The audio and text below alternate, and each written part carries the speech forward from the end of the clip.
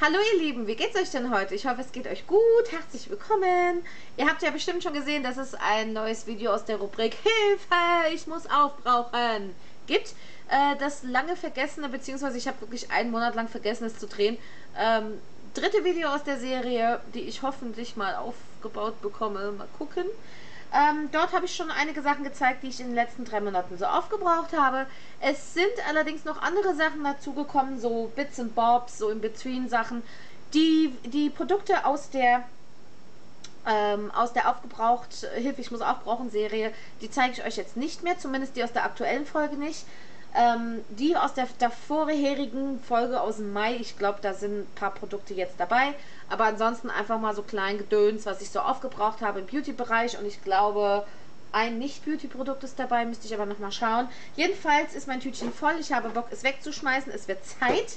Und äh, ja, legen wir einfach mal los. Ich werde jetzt nach dem Prinzip Überraschungsgriff einfach blind in die Tüte packen. Bis auf eine Sache, die muss ich äh, greifen, wo ich äh, gucke. Und zwar ist das von Brilliance meine aktuelle Haarfarbe, die ich mir jetzt ganz brandaktuell gestern, also am Tag, bevor ich das jetzt hier gedreht habe, äh, aufs Haar geklatscht habe. Ich bin sehr gespannt, ob die hält. Meine letzte Haarfarbe, ebenfalls von Brilliance, hat leider nicht gehalten bei mir. Und da habe ich mir jetzt gedacht, weil die Farbe von vorhin, die gab es an dem Tag, wo ich die Farben gekauft habe, nicht. Und dann habe ich die halt mitgenommen. Das ist die 860 Ultraviolett und ich finde die Farbe so geil. Also richtig, richtig toll, schön knallig.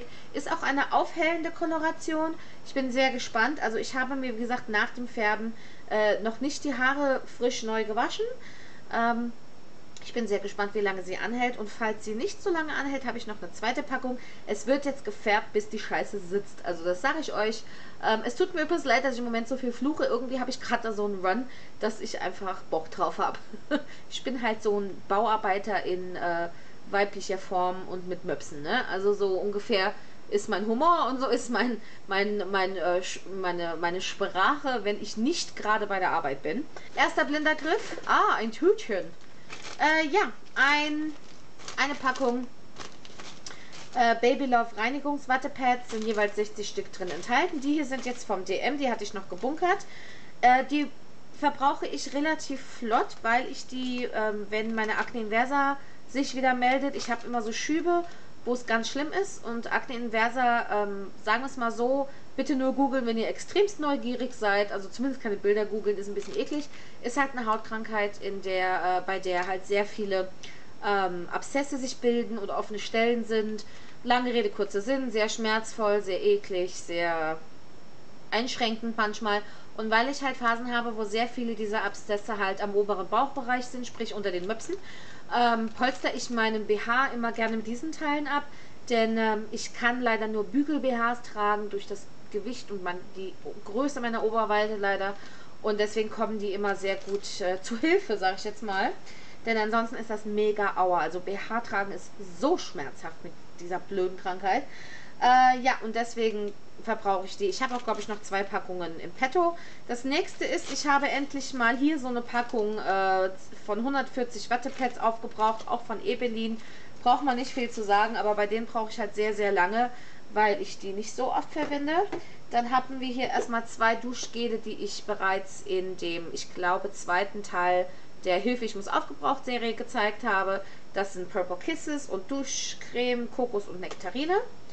Ähm, große Review mache ich nicht. Ich packe euch einfach alles, äh, die ganze Serie von Hilfe, ich muss aufbrauchen, packe ich euch einfach unten rein, könnt ihr gucken. Ähm, ja, dann haben wir gleich hier zu oberst das Non-Beauty-Produkt und ich weiß nicht, warum ich es reingetan habe, von Frosch Grapefruit Fettreiniger. Genau, ich glaube, ich habe den reingetan, weil ich so ein Fan von diesem Zeug geworden bin. Ich liebe es abgöttisch. Ich hätte nie gedacht, dass so eine Art Bio-Zeugs wie Frosch so richtig hartnäckigen Kram los wird. Das ist der Hammer. Also ich habe wirklich sehr, sehr hartnäckige Fettreste weggekriegt damit. Ähm, und äh, kann ich nur jedem empfehlen. Genau deswegen habe ich es reingetan, kann ich euch empfehlen. Ganz tolles Zeug. Riecht auch übrigens total gut und lecker. Äh, eingetrocknet und deswegen nicht ganz aufgebraucht sind von, ähm, was ist das? Jetzt muss ich mal schauen. BB Young Care erfrischende Reinigungstücher für normale Haut. Ähm, die benutze ich eigentlich nur noch, um Swatches zu entfernen. Ähm, die Reinigungstücher verwende ich generell schon gar nicht mehr, um ähm, Make-up wirklich zu entfernen, sondern eher nur Swatches oder wenn ich mein, meine Foundation auf dem Handrücken verteile, um sie dann im Gesicht zu verwenden. Dann einen Balea zarten Reinigungsschaum. Ich habe euch zwar einen gezeigt, den ich gerade verwende im letzten Video, aber den hier hatte ich aufgebraucht. Finde ich ganz toll. Ähm, ich mag zwar eigentlich das von Aven am liebsten, diesen Reinigungsschaum, aber der ist A teurer und B, ich vergesse den ständig zu holen und dann äh, bin ich gerade immer zufällig beim DM, also wenn es gerade ne, leer geworden ist und da wird es dann halt meistens dieser hier. Äh, äh, deswegen weg damit. Dann habe ich, ich gucke jetzt doch, tut mir leid, ich gucke jetzt doch von der Kamera weg. Habe ich mir zwar eigentlich geschworen, dass ich es nicht mache, aber passiert. Äh, drei Deos. Die sind, das hat Monate gedauert, also richtig Monate, bis ich die leer hatte. Ähm, ich hoffe, die sind jetzt nicht vom letzten aufgebraucht übrig geblieben oder so, aber wie gesagt, ähm, die sind leer. Mitchum ähm, 48 Hour Protection Unscented, das ist immer dieses, äh, dieses für empfindliche Haut ähm, Deo. Das benutze ich unheimlich gerne, nehme ich mir auch immer wieder aus äh, London mit, wenn ich da bin. Wobei sich mein Deo-Vorrat leider gerade irgendwie dem Ende zuneigt. Ich muss mal gucken, ich glaube auf Amazon kriegt man es vereinzelt auch, muss ich mal schauen. Dann haben wir ebenfalls eins, was aus der, ein äh, Duschgel aus der Hilfe, ich muss aufbrauchen Serie von TT Sepp 2, 1, 2 in 1 Shower und Shampoo für Kinder. Das habe ich äh, gesponsert bekommen. Ebenfalls gekillt und schon gereviewt ist von Balea das Duschgel White Passion. Es tut mir leid, wenn das jetzt irgendwie lieblos äh, klingt, aber ich sehe jetzt gerade, dass ich das meiste schon belabert habe. Deswegen, damit es jetzt im Müll landet, halte ich es einfach mal in die Kamera. Und, ähm, oh Wunder, oh Wunder, es ist wieder staubig. Ich habe zwar eben mit einem Handtuch, mit einem Gebrauchten einfach mal so in der Tüte rumgewedelt, aber irgendwie in jeder Folge fliegt der Staub. Tut mir furchtbar leid. Das Zeug steht halt in der Ecke rum und ist schlicht und ergreifend immer noch Müll. Deswegen, und den Müll putzt man meistens nicht. Also ich bin ja ähm, sehr weit entfernt davon, eine perfekte YouTuberin zu sein. Und ich führe diese wundervolle Tradition auch einfach fort, indem ich den Staub fliegen lasse. Yay! Jedenfalls, Amazing Grace ist ein äh, Duschgel und Shampoo. Das wusste ich gar nicht, dass es auch Shampoo ist. Von Philosophy. Das hatte ich auch noch in petto gehabt. Das hier fand ich, glaube ich, ganz... Das roch echt gut. Das hat so ein bisschen so ein so einen leichten Oma-Seifenduft gehabt, aber nur ganz leicht. Fand ich wirklich toll. Würde ich mir aber jetzt nicht nachkaufen, weil ich habe halt so viel. Ähm, jetzt ein Produkt, ja, was ich lange Zeit sehr toll fand für einen gewissen Zweck und dann jetzt entdeckt habe, dass dieser Zweck leider ähm, gebackfired hat, also so ein bisschen äh, mir um die Ohren geflogen ist. Und zwar ist das das Denk mit Hygienespray. Es ist so ein Desinfektionsspray, kann man für Oberflächen und alles benutzen für Bad, WC, Küche und Kinderzimmer, für Teppiche, Polster und Matratzen und zum Schuhdesinfektion. Ich benutze, benutze das eigentlich ständig, wenn ich irgendwo eine Fläche desinfizieren muss, weil ich sag mal, Sakrotan ist nicht so, laut Tests ist ja nicht so das Nonplusultra, wie es immer dargestellt wird scheinbar und da ist, das tut es dann auch ähm, total und ich finde die Denkmitsachen sind auch super. Jetzt wird es aber ein bisschen eklig, also diejenigen, die sich nicht unbedingt so mit Abszessen und Krankheiten und sowas beschäftigen möchten, die spulen dann bitte zu dieser Zeit vor. Ähm, ich werde auch nicht zu sehr ins Detail gehen, keine Sorge. Jedenfalls habe ich es ganz, ganz, ganz lange dazu verwendet, ähm, um meine BHs so ein bisschen zu desinfizieren. Klingt jetzt krass. Das Problem ist allerdings, wenn ihr, und, und ich glaube, falls ihr selber unter Acne inversa leidet, als Frau und selber ein bisschen mehr Oberweite habt, werdet ihr das bestimmt nachvollziehen, beziehungsweise auch wenn es eine andere Erkrankung ist, die Entzündungen unter der Brust hervorruft. Entzündete Haut neigt leider dazu, irgendwann zu riechen. Da kann man sich waschen, so viel man will. Ich bin wirklich kein schmutziger Mensch. Ich bin wirklich kein unhygienischer Mensch. Gar nicht. Aber das Problem ist einfach, dass ähm, Haut, die offen ist, vor sich hin, und jetzt wird es eklig, vor sich hin suppt und äh, einfach entzündet ist und, und, und alles, und da ist noch so ein BH, der da drauf rubbelt. Selbst mit Polster und Pflaster und Tralala. Das sifft einfach überall durch. Das klingt jetzt natürlich so, als würde mir hier die Flüssigkeit runterlaufen. So ist es jetzt nicht, aber das ist so ein bisschen wie, wenn sich so ein bisschen Schweiß unter einer Hautfalte so ein bisschen ansammelt. Ungefähr so müsst ihr euch das vorstellen. Jedenfalls mache ich das dann meistens so, weil ich nicht jeden Tag nach dem, ne, nach dem Tragen das waschen kann.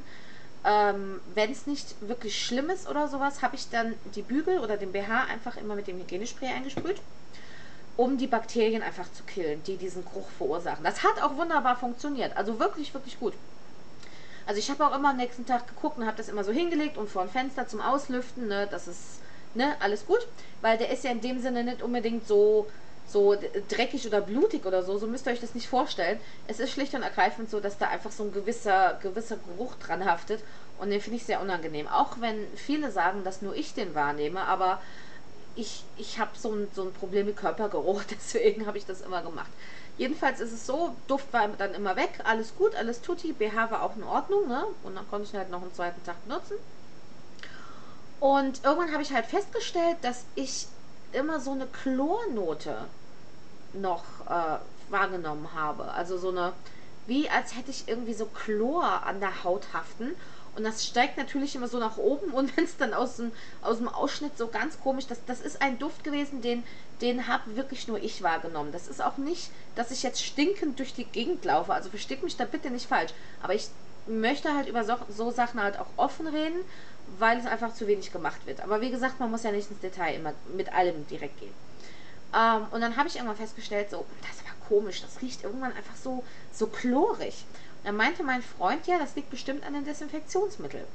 Und jetzt habe ich das angefangen wegzulassen und tatsächlich, ich, ich bin da nie drauf gekommen, das scheint wirklich dieses Desinfektionsmittel zu sein, was das nach Chlor riechen lässt. Und ich weiß nicht, ob da irgendwas mit Chlor noch mit da drin ist oder so. Also da ist Alkohol drin, Propanol, Hexyl, Cinnamol, Zitron.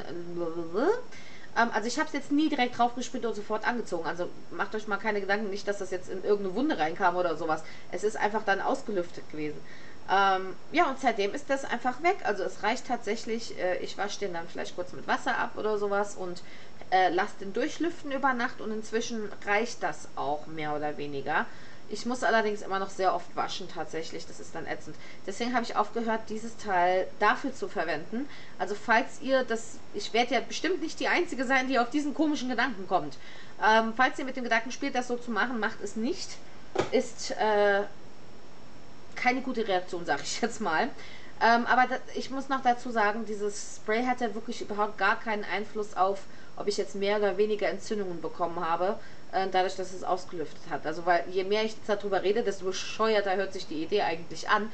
Aber ich sag mal, in der Not frisst der Teufel Fliegen und ähm, ja, man versucht sich immer irgendwie zu helfen. So, sind nicht mehr viele Produkte. Ich habe dann noch 50s Forever, ein Balea, eine Balea Pflegecreme mit so Kirschduft entdeckt. Die habe ich dann leer gemacht, beziehungsweise das letzte Rötzchen war eingetrocknet. Da kommt auch fort. Ähm, dann, das war aus meiner letzten Haarfärbeaktion, dieser, ähm, wie heißt das nochmal, Conditioner, äh, aus meiner vorletzten Haarfärbeaktion. Ähm, ebenfalls leer gemacht habe ich mein aller, aller, aller, aller, allerletztes Dontodent Pink Grapefruit Mundwasser. Ich vermisse es so sehr. Ich hoffe, es kommt irgendwann nochmal wieder. Ich fand das so toll. Das war das einzige Mundwasser, was ich wirklich gerne verwendet habe. Bitte, DM, bitte, bitte, bitte, bitte, bitte, bitte, bringt das nochmal raus. Es sei denn, es ist tatsächlich noch mal raus und ich war jetzt bestimmt seit Monaten bei keinem DM mehr. Und ich habe es verpasst. Das wäre kacke. Jedenfalls ähm, dann noch mal eine Packung von diesen Pads. Diese hier sind von Müller, von Beauty Baby, diese Reinigungswattepads. Sind ebenfalls 60, 60 Stück enthalten. Die allerdings finde ich nicht wirklich toll, weil sie einfach total zerfasern und zerfallen im Laufe des Tages. Ähm, natürlich sind sie nicht dazu gemacht, irgendwas abzupolstern, ist klar. Trotzdem fand ich die jetzt nicht so dolle und werde die auch versuchen, nicht nochmal nachzukaufen. Es sei denn, ich habe wirklich Notstand. Äh, eine Handcreme von P2 habe ich leer gemacht. Äh, Ultra Soft Handbaum, den habe ich auch schon Ewigkeiten. Ganz, ganz, ganz, ganz, ganz, ganz lange. Den habe ich mal geschenkt bekommen. Aber der ist jetzt endlich leer. Ich habe es tatsächlich geschafft, zwei Parfüms zu leeren. Ich bin sehr stolz auf mich. Das ist einmal das Burberry Beat und das ist einmal Signature Gold Edition von, weiß ich gar nicht, was es ist jetzt, müsste ich mal schauen. Ups, da ich falsch rumgehalten. Woman de Toilette von Otto Kern. Genau. So sehen die aus. Ihr seht, beide leer, nur noch so ein, so ein kleines Rötzchen, was gar nicht mehr rauskommt. Ich bin so stolz auf mich, Parfüms leer gemacht zu haben. Das ist nämlich auch was, was ich mir vorgenommen habe, dass ich meine Parfums leer mache und nicht mehr großartig nachkaufe, außer bei Escada, da werde ich dann immer wieder schwach. Äh, ja, ganz aktuell habe ich leer gemacht eine Gesichtsmaske.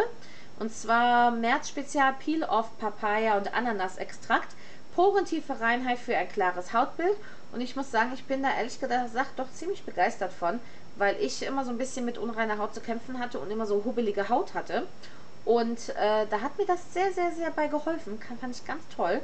Und die würde ich mir auf jeden Fall nachkaufen. Ich glaube, die habe ich gesponsert bekommen damals mal.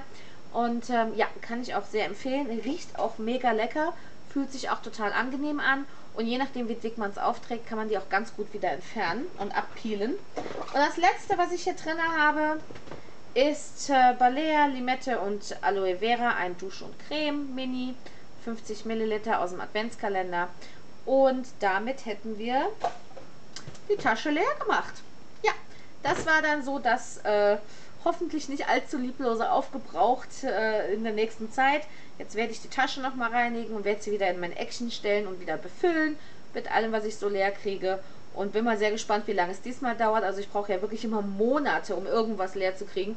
Ähm, keine Ahnung, aber ich sage es ja in jedem Video. Ich lasse es jetzt einfach mal.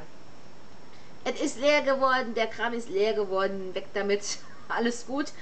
Und äh, ja, ich wünsche euch noch einen wunderschönen guten Morgen, guten Mittag, guten Abend und guten Appetit. Und ich hoffe, wir sehen uns bald wieder in einem neuen Video von mir. Bis dann. Ciao.